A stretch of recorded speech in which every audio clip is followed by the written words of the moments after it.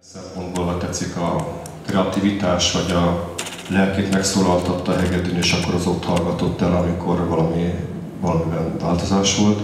Ezt, hogy magadhoz uh, szorítod, hogy oda teszed a írasztalot fölé, az a közel van, a tárgyak persze más is jelentenek, nem csak egy szép hegedű forma, aminek hullámzik a, az íve, mint a hölgyeknek, hanem hogy amikor belépünk a lakásodba, akkor van egy, egy ruhafogas, azon van egy szarvas állatkoponya, állatfej, és azzal egy lépéssel arrébb, ott, ahol a, a nemzeti színi szalagokat vetítettem, és amikor elhangzott, hogy kopjafa vagy nem, egyébként gyönyörűek a szalagok, tehát ez szépen tördeltek, nem feltétlenül műszálból készültek, hanem van egy ilyen szép áztatottságuk is, vagy, vagy időnek kitettségük, hogy az arra mondanál egy pár szót, hogy az, az ott mi. Az anyámnak a kopja felé, anyámnak a sírja, ő Szentelnél volt eltemetve. 83-ban halt meg. Épp itt voltunk Magyarországon, látogatóban ismerősöknél, és az alatt halt meg. És akkor itt temettük el apámmal. És 2006-ban, amikor meghalt apám, és őt hazavittem Erdélybe, Gerjószárhegyre,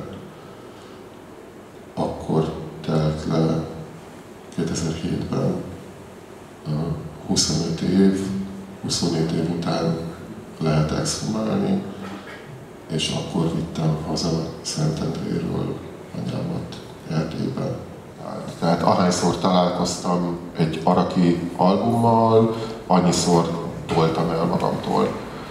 É, egészen addig a pillanatig, amíg rá nem jöttem arra, hogy, hogy nagyon-nagyon sok szempontból mennyire minden nap. Minden nap közel van, jelen van, csak nem arra néven, hanem Bartis Attila néven a saját életemben.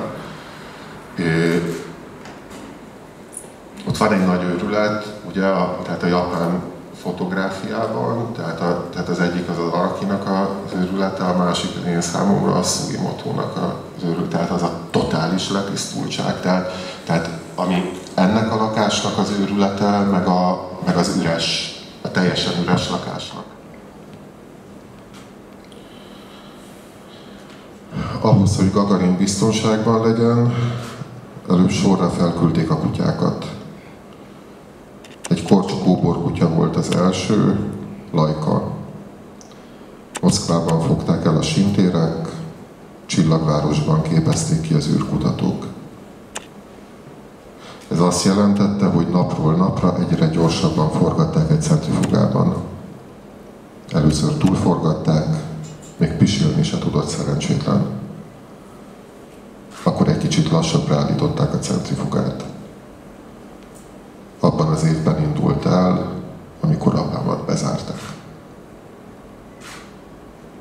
Igazából csak arra voltak kíváncsiak, hogy Lajka kibírja az indulást, meg a súlytalanságot.